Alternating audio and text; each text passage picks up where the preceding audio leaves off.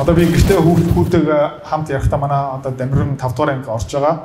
Like үгийн хоригдсон. Суугаал ингээд this is what I'm trying to say гэдэг англиар хооронд ярьдаг байхгүй шууд зогсоодог. Наад наадхаа зогсоо өгүүлбэрээ бичээд буцаагаад над дээр хүрээд. Ангийн хүүхдүүд харах юм бол тэд нар бүгдээрээ like ah bro mm er гэл яг YouTube дээр тэр you know what I'm saying гэл яриад яваад байдаг. Манай дамиран ганцаараа like нэг ч удаа хэрэгэлдэг.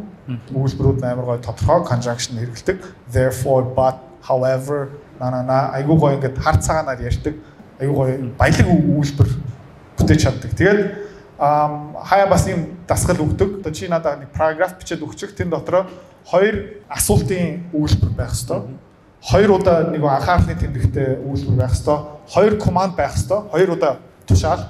Тэгээ зөвхөн хоёрхан энгийн өгүүлбэр дотор байх байх ёстой. 8 өгүүлбэртэй параграфнуудаа бичээд өгчих. Ямар өгүүлбэр буцаагаад ирдэг гэх юм бол аваа та миний юу аваа та миний германы мөнгө үсэх ёстой биш. Аваа яагаад нэг Германы мөнгийг үсэх ёстой гурван шалтгаан сонсомоор байна уу? Яг адилхан байхгүй юу? Гэхдээ асуултаараа илэрхийлж байгаа чинь миний тарих ажилд эхэлж байгаа байхгүй юу? Зүгээр ингээ үйлбэр шийдчих юм бол миний тарих ажиллахгүй байхгүй юу?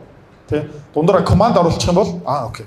Гурван үйлбэр дараалангаар нэг команд, нэг энгийн, нэг асуултаар ингээ дуусгачих юм бол айгүй engaging communication болж байгаа байхгүй юу? Тэрийг бас заах хэрэгтэй. Тэрийг бас айгүй айгүй чухал. Ихэвч хүмүүсийн яриаг сонсох юм бол зүгээр дандаа энгийн үйлбэр абаба абаба абаба абаба. Тэг яг зүгээр нэг хүсэж байгаа юм бол асуулт асуудаг.